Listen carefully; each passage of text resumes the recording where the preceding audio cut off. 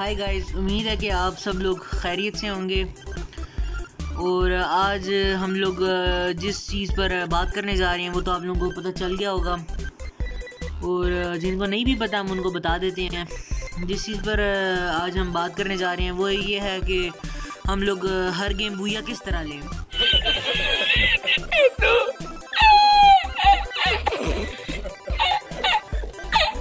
तो game start करते हैं और आपको साथ साथ बताएँगे। तरह से आप लोग देख सकते हैं कि हमारी गेम स्टार्ट हो चुकी है।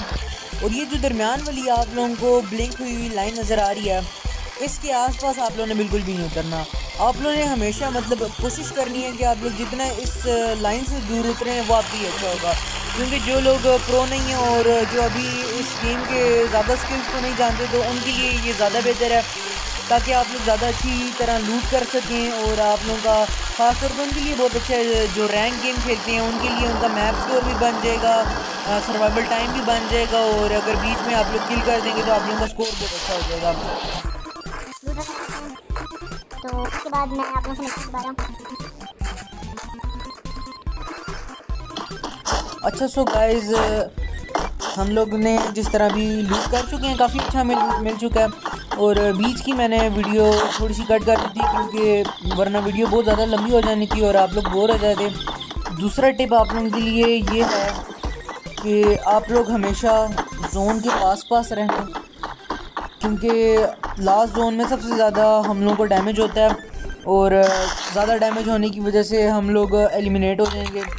तो इस वजह से आप लोगों ने ये बहुत ज़्यादा ख्याल रखने कि, आप लोग जोन के पास पास रहें। नंबर थर्ड टिप ये है कि आप लोग कभी भी ओपन में ना घूमना। जिस तरह ये ओपन जगह है, कभी भी इस तरह ओपन में ना घूमना। अनटिल आप लोगों उनके पास ब्लू वॉल नहीं है। जिस तरह अभी फॉर एग्ज़ाम्पल मेरे पास ब्लू वॉल नहीं है तो मैं अभी कवर टू कवर जाऊँ। कवर टू कवर अब बंदा किस तरह जाएगा? ये कवर लिया, उसके बाद दूसरा वो कवर लिया।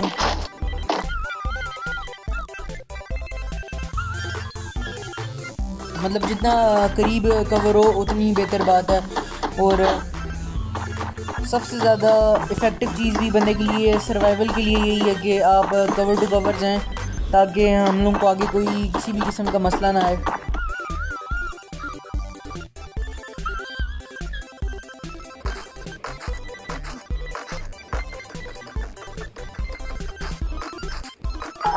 तो गैस चौथा टिप आप लोगों के लिए। ये है कि अगर जोन बहुत ज़्यादा छोटा हो चुका है और आप लोगों के पास अब शॉर्ट रेंज यूज़ करने की बारी है तो सबसे बड़ी बात होनी चाहिए कि आप लोगों की मूवमेंट स्पीड अच्छी होनी चाहिए।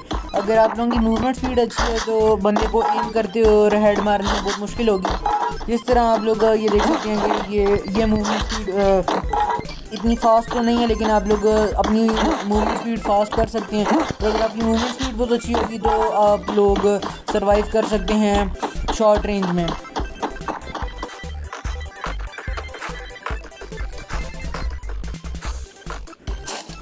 So guys number five tip ये है आप लोगों के लिए कि आप लोग जब भी किसी भी तरफ़ मूव करें या रश करें तो आप लोग हमेशा मैप में पिन करके जाएँ। जब आप पिन करेंगे तो आप लोगों के लिए ये चीज़ बहुत इजी हो जाएगी और आप लोगों को बार बार मैप की तरफ़ देखना नहीं पड़ेगा या फिर बार बार ओपन नहीं करना पड़ेगा।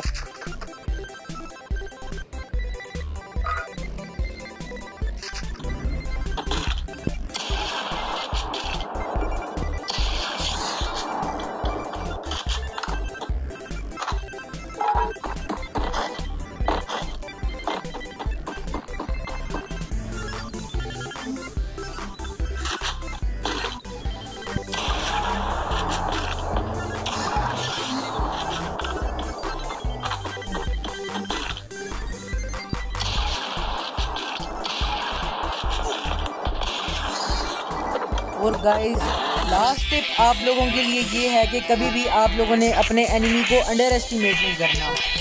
जो कि थोड़ा अजीब तो है, लेकिन आप लोगों को ये बात अपने दिमाग में रखनी पड़ेगी कि आप लोगों ने अपने एनिमी को कभी अंडर एस्टिमेट नहीं करना।